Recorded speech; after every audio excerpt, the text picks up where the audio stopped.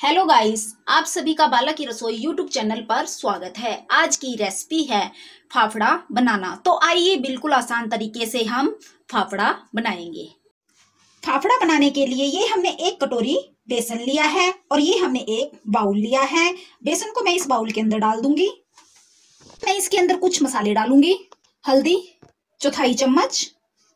ये छोटा वाला सर्विस स्पून लिया है मैंने। और चौथाई चम्मच ये मैंने छोटा चम्मच लिया है और चौथाई चम्मच में इसमें हींग डाल रही हूँ। हींग का फ्लेवर बहुत ही अच्छा लगता है इसमें। और नमक मैं एक छोटा चम्मच डाल रही हूँ। आप नमक अपने स्वाद अनुसार डाल सकते हैं। और एक छोटा चम्मच में अजवाइन ले रही हूँ। अजवाइन को मैं हाथ से क्रश कर लूँगी। एक पिंच के आसपास मीठा सोडा ले रही हूँ, ये भी इसमें डाल दूँगी। और चौथाई चम्मच मैं इसमें लाल मिर्ची पाउडर डाल रही हूँ। आप इसे ना डालना चाहें तो स्किप कर सकते हैं। इसको अब मैं चम्मच की मदद से मिक्स कर लूँगी। ये मसाले अच्छे से मिक्स हो चुके हैं और ये मैंने कढ़ाई में ऑयल लिया है। ऑयल को मैं गर्म होने के लिए रख देती हूँ और इसी में से मैं एक चम्मच ऑयल बेसन के अंदर डाल दूँगी और एक चम्मच और लूँगी मैं टोटल दो चम्मच ऑयल का इस्तेमाल करूँगी मिक्स कर लूँगी।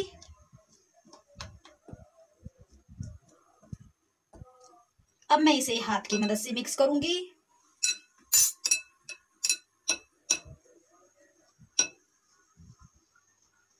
और इसे मैं अच्छे से ऑयल इसमें मिक्स हो चुका है। और ये देखो इसकी मुठियाँ भी बनने लगी हैं। मैंने सिर्फ़ इसमें दो चम्मच ही ऑयल डाला है। इसमें पानी डालूँगी। ये मैंने एक कप पानी लिया है और इसमें दो से तीन चम्मच में पानी डाल दूँगी। ये मैंने तीन चम्मच डाले हैं। थोड़ा थोड़ा करके ही मैं इसमें पानी डालूँगी। और मैं इसमें फिर से पानी डालूँगी। तीन चम्मच फिर डाले हैं मैंने इसके अंदर पानी।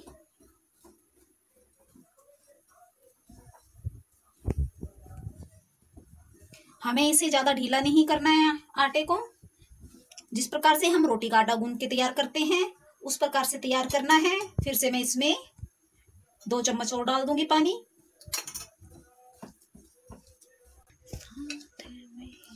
ये हमारा पानी से अच्छी तरह घुल चुका है बेसन। हमारा टोटल पानी आठ चम्मच लगा है एक कटोरी बेसन के अंदर।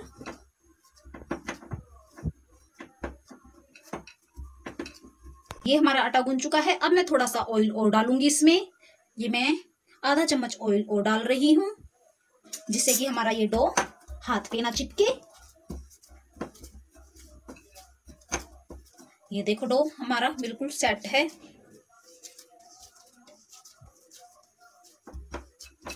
और इसे अब हम एक साइड में रख देंगे। ये हमारा आटा सेट हो चुका है।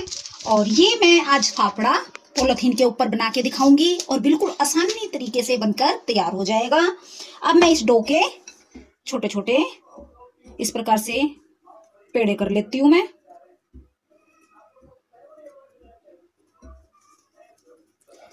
इस प्रकार से मैं लंबे लंबे पेड़े से गो, लंबे करके तैयार करूँगी। एक तरफ़ से नोक को रहने दूँगी। मैं इन्हें बेल के दिखाऊँगी आपको बिल्कुल आसान तरीके से।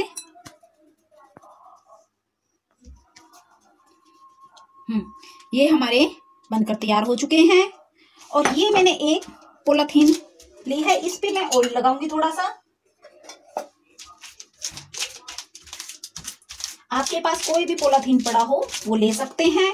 मैं इसको किनारे पे रखूँगी पोलाथीन के और इसको मैं इस प्रकार से फोल्ड कर दूँगी। और ये मैंने एक बेलन लिया है। बेलन की मदद से मैं इसे इस प्रकार से लंबाई में आराम से धीरे धीरे बेलती जाऊँगी। कितने अच्छे से बिलकर तैयार हो गया है। अब मैं पोलाथीन को धीरे से हटाऊँगी। बिल्कुल धीरे से हटाना है पोलाथीन को। और ये देखो, बिल्कुल धीरे से हट चुकी है हमारी पोलाथीन। अब मैं इसे निकालूँगी और बिल्कुल आसानी से उतर रहा है। देखो, कितने बढ़िया से उतर रहा है। ये देखो, कितने आसानी से उतर गया है। अब मैं इसे ऑयल के अंदर छोड़ दूँगी। है?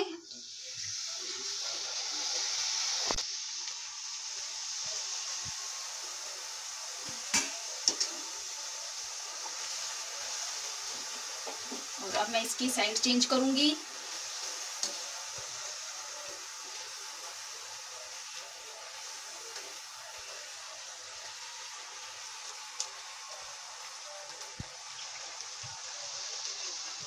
हमारा फाफड़ा बनकर तैयार हो चुका है। इसे मैं प्लेट में निकाल लेती हूँ। अब इसी प्रकार से मैं बाकी फाफड़े भी बेल कर तैयार करूँगी।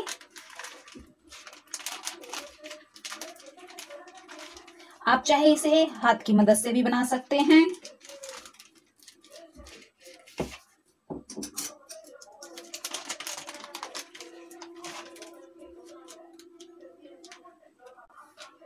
ये देखो।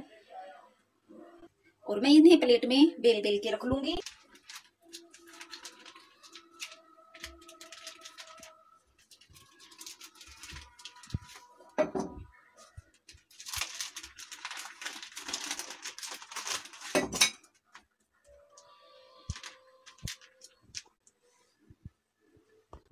इसी प्रकार से मैं अपने सारे फाफड़े बेलकर तैयार कर लूँगी।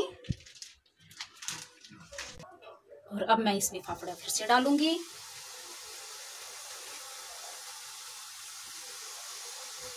बिल्कुल आसान तरीके से मैंने आपको फाफड़ा बनाना सिखाया है।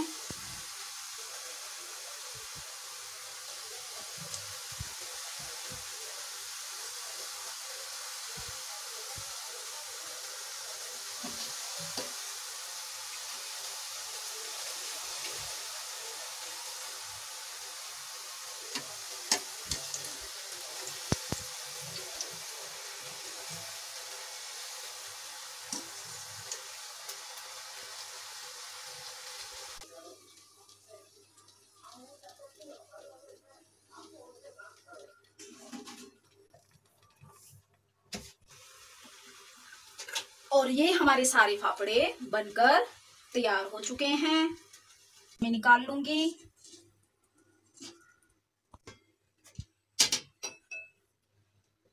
ये हरी मिर्च भी हरी मिर्च ली है मोटी वाली। अब मैं इन्हें भी फ्राई करके दिखा देती हूँ। ये मैंने बीच में से कट लगा लिया है इनमें। इसको मिर्च को फ्राई होने दूँगी तेल के अंदर।